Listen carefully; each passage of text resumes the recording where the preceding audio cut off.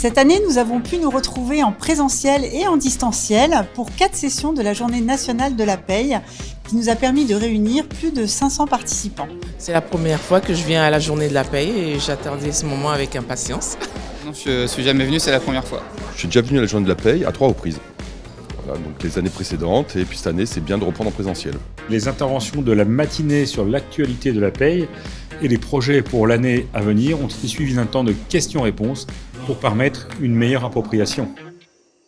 Les échanges ont également été ponctués des sondages posés en direct à nos participants afin de permettre plus d'interactivité et de recueillir l'avancement des participants sur la mise en œuvre de certaines réformes. Bah là, euh, actuellement, bah, c'est euh, la prime inflation, ça, c'est sûr, ça tombe à pic.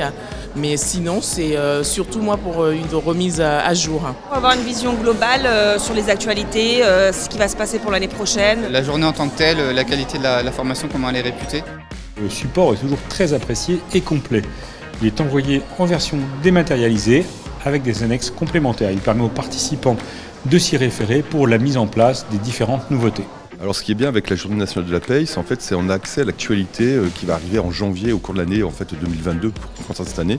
Et c'est vraiment ça qui est riche. En plus, on échange avec des experts, avec des, euh, des pairs aussi dans le métier pour savoir qu'est-ce qu'ils ont fait sur une situation particulière. Et c'est ça en fait moi qui m'intéresse cette journée.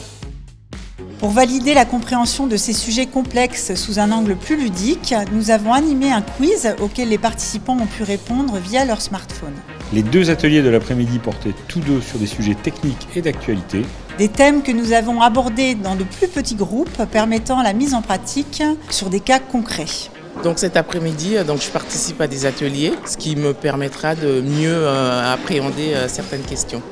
Nous étions heureux de partager cette édition mixte en présentiel ou en distanciel avec autant de participants. Nous vous donnons rendez-vous l'année prochaine, en décembre, pour la prochaine édition de la Journée nationale de la paye. À l'année prochaine.